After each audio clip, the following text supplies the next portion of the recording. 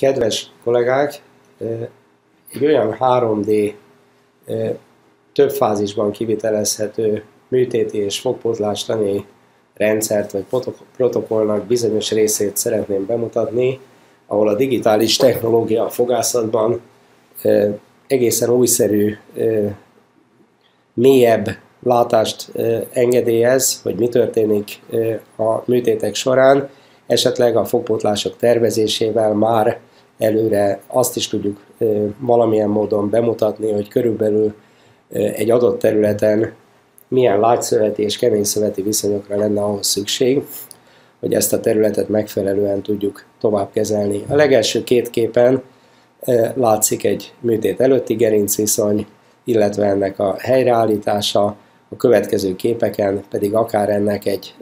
újrafeldolgozott egy úgynevezett szegmentációval történt röntgenképe látszik, ahol ki lehet vonni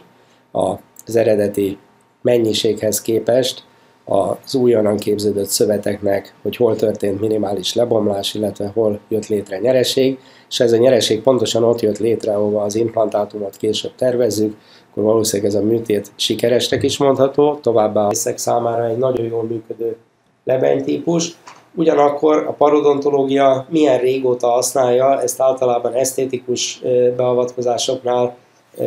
hát különösen recessziófedéseknél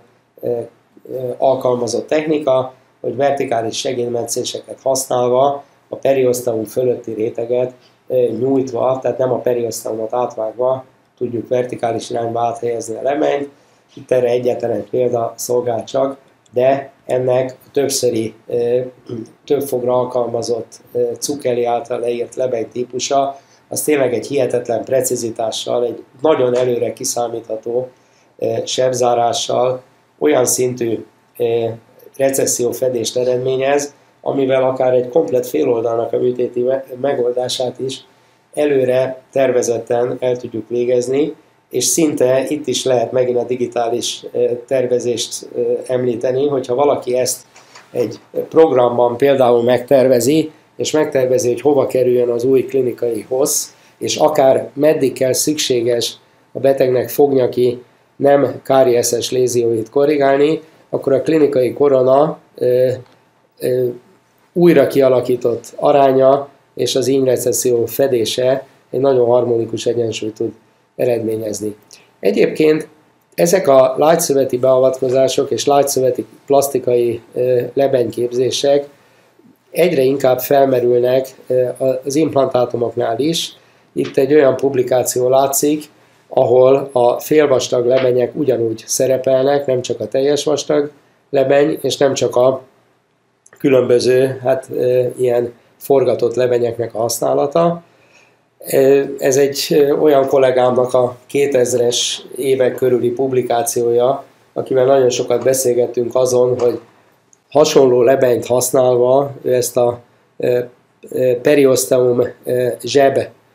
technikát publikálva, ahol a periosteumot nem fölemelve a periosteum alá, a periosteumot mint egy membránként használva helyezett be csontpótlót, és ezt használta laterális terület szélesítésére, jól megfigyelhető, hogy még membrán nélkül is e, egy volumen növelés, ami a periosztomot oldalirányba eltartja, és egy megfelelő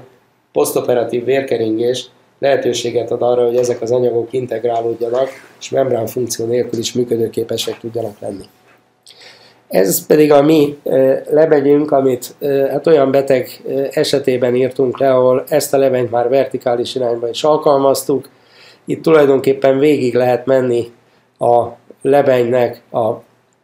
képzésén, a félvastag lebeny preparálásán és további mobilizálásán. Úgy, hogy a belső területet, itt még az implantátumokat és mikroblokkokat használva távtartóként egy titánmembránnal izoláltuk a külső környezettől, és a titánmembrán fölött a lebenyt megfelelően